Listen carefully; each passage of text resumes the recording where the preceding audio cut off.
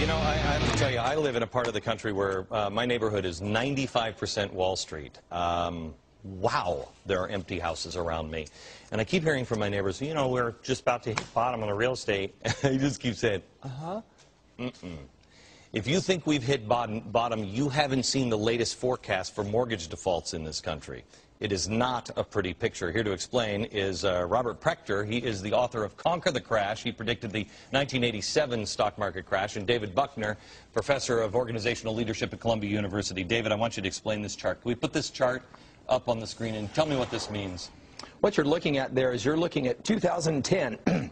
you're seeing a peak in defaults. Look at the spikes. You have two spikes there. You're seeing a peak in defaults for homes that were more that were financed in 2004, 2005, 2006 because they're adjustable rates are resetting.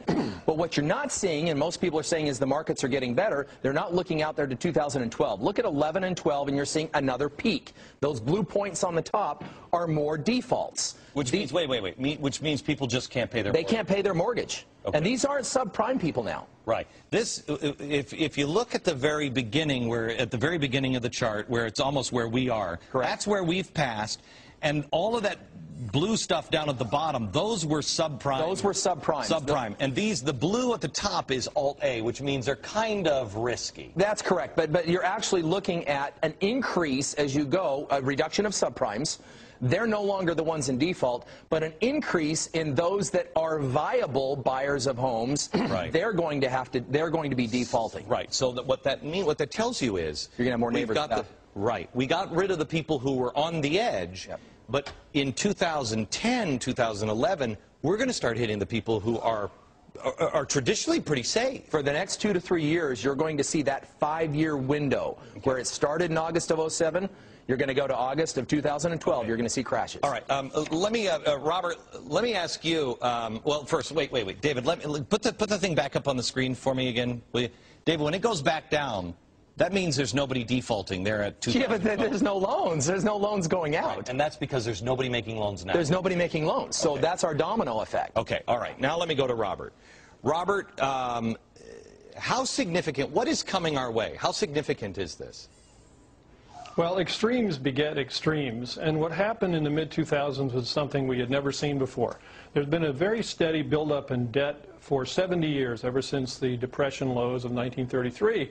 And when we went off the gold standard and we had debt-based money, it was a very easy thing to do.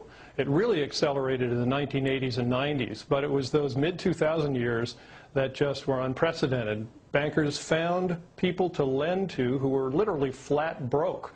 They had no money even to pay the closing costs. Well, how do you lend to a person like that? You give them a 110% loan.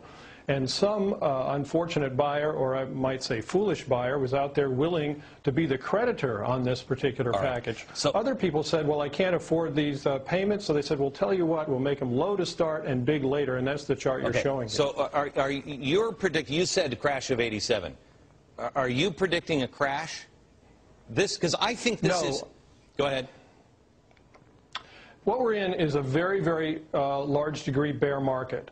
I think we peaked out a great wave of optimism in 1999-2000.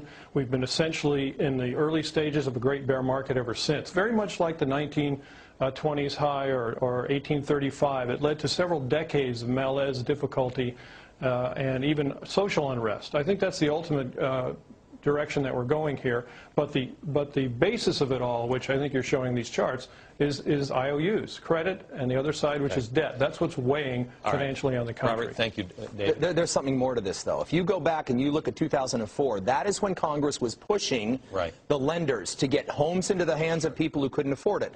We're hitting that five-year, it went from 2003 to 2008. That's when you started to see the beginning of that chart, mm -hmm. where the, the resets started right. to occur. We got another three years in this. Okay. So, so you're dealing you, with. Are you predicting? Because I can't figure out. They've used all of the bullets in the gun. The Treasury has put all the money. If this continues to fall down more and has a second, we have a false uh, top and then it comes down and crashes down in 2010 or 11. There's no more bullets in the gun for the Treasury. We, we have nothing else to put. That 2004, 2005 bullet and then the Treasury, we have nothing else to shoot at it right now. Okay, good. Oh, there you go. Let's have fish.